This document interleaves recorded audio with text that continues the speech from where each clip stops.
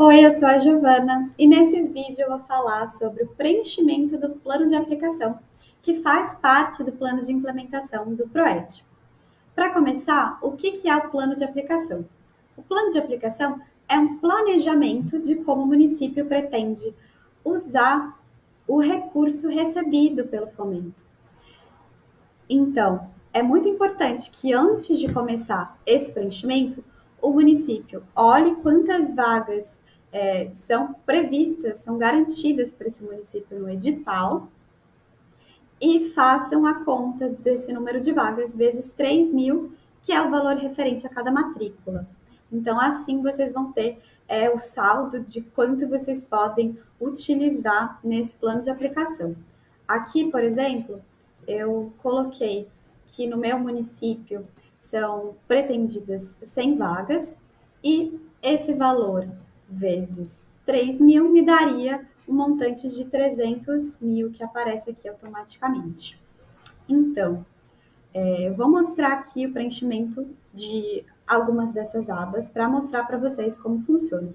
Também vale destacar que vocês não precisam é, preencher e distribuir esse recurso entre todas essas categorias. Vocês podem escolher aquelas que fazem sentido para o município. Então, é possível utilizar todo o recurso em uma única categoria ou distribuir entre duas, por exemplo. Vocês vão precisar fazer essa análise de onde é necessário o investimento para o início dessa oferta de educação em tempo integral no município.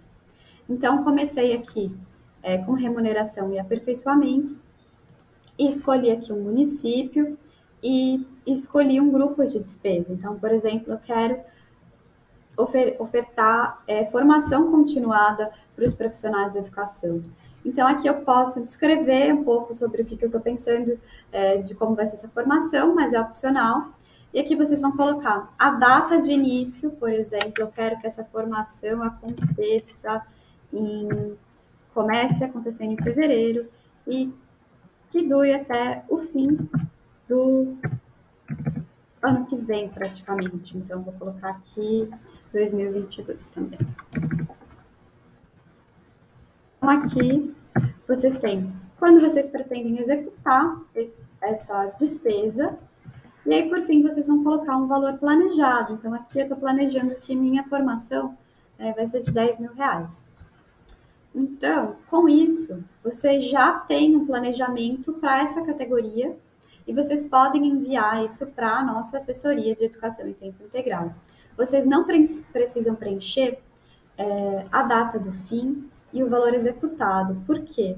Porque essas, essas colunas, né, elas vão ser preenchidas ao longo da execução desse, desse recurso. Então, é, é muito mais para o planejamento de vocês.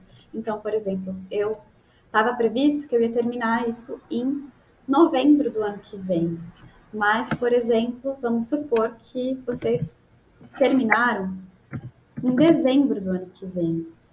Então, aqui vocês preenchem depois e vocês podem colocar o valor executado. Então, acabou que foi 10 mil mesmo. Então, aqui vocês vão colocar esses 10 mil e automaticamente vai ser feita uma conta. Então, vocês usaram, vocês é, fizeram uma previsão de 10 mil, foi executado 10 mil, então vocês vão, vão vendo essa, essa mudança acontecer aqui na planilha. E o mesmo pode ser feito para as outras abas, então, por exemplo, aquisição, vão ter aqui aquisição de produtos para manutenção ou contratação de serviços para manutenção. Se vocês forem aqui nas aquisições de capital, vocês vão fazer a mesma coisa, então escolher é, por exemplo, aquisição de equipamentos, compra de mobiliário, e aí vocês podem colocar a descrição, a data de início, a previsão e o valor planejado.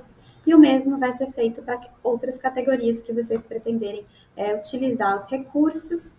É, também é importante né, avisar que vocês não precisam fazer um planejamento por escola. Pode ser um planejamento mais geral, mas caso vocês já saibam o que vocês querem fazer por escola, também não tem nenhum problema colocar já é, esse planejamento vinculado a qual escola vocês querem fazer alguma reforma ou comprar algum mobiliário.